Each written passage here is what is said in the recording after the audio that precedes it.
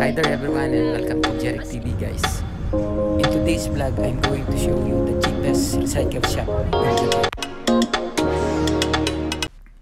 So ito na yung part ng Komaki City dito sa May Central Japan guys. So ito na yung Kimball Recycle Shop dito sa May Komaki City guys.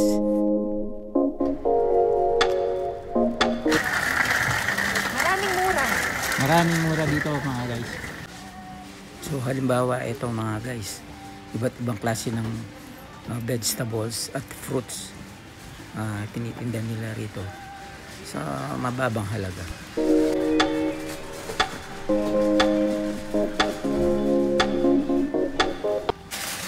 Ito naman guys, lemon drink at drink, napakamura. As safety protocol.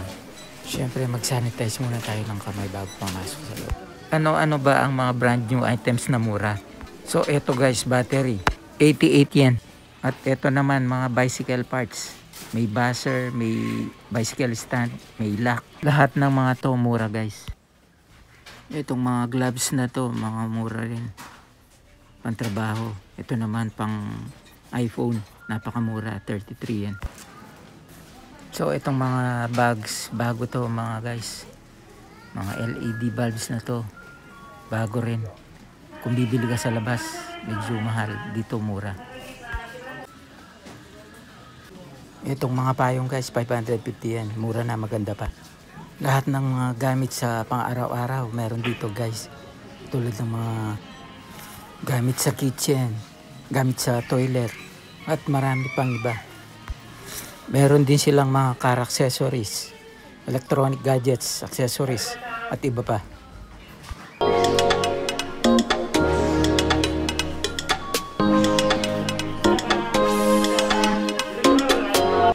Ito wallet guys para kay mami, ate o kay girlfriend. Etong mga to guys pwede pang regalo kay kuya, daddy o kay boss. Iba't ibang klase ng pabango na napakamura. Meron din sila guys. Meron din silang mga beauty products dito guys. Itong mala LB na bag, 550 yen lang. Mga luggage, bago na mura pa. Ito naman figurines para sa bahay. Kung gusto mo naman guys na medyo elegante ang dating ng iyong bahay, dito ka pumili. Kaso lang medyo tatas ng konti, pero mura pa rin. Kung ikukumpara mo sa presyo sa labas.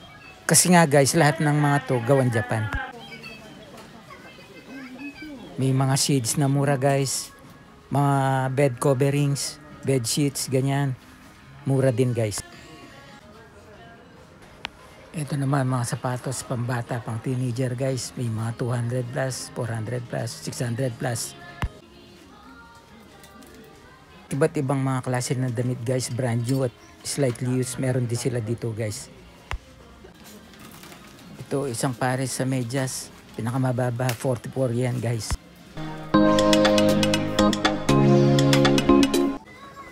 Makakapili rin kayo ng mga murang laruan sa mga bata dito guys. Mula 100 plus, 200 plus, 400 plus, hanggang sa 1,000 plus pataas. Itong mga to pagkain guys. Candies, chocolates, mga chichirya. Napakamura talaga. Iba't ibang klase ng mga drinks guys oh. Napakamura talaga. Tingnan nyo. May 25, 35, 45. Ito naman 10 kilo ng bigas guys. Medyo mura. 2,700 yen lang. Ito naman ice cream guys. Iba't ibang klase. Napakamura. Ito naman isang pack ng kare noodles guys. 30 yen lang. Hand cleansing gel. 110 yen.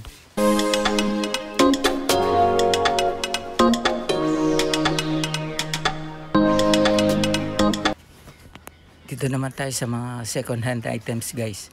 Kagaya nitong mga gulong na sasakyan. Mura lang. Slightly used pa.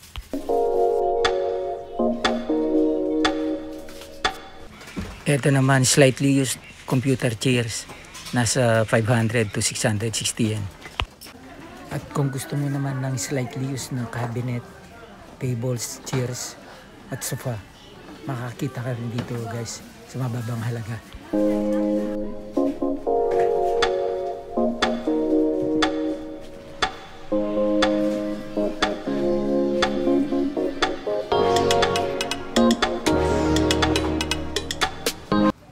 Ang hanap mo naman ay second hand na refrigerator guys, meron din sila dito. May more than 1,000, 2,000, 7,000 at mahigit isang lapad. Depende sa size. Kung ang hanap mo ay second hand na washing machine, meron din sila dito guys, mura-mura. So ayan mga guys, sana nagustuhan yung video na to.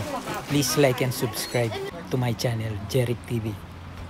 At pakiclick na lang ang notification bell button para sa mga susunod ko pang video guys. Maraming salamat. Ingat.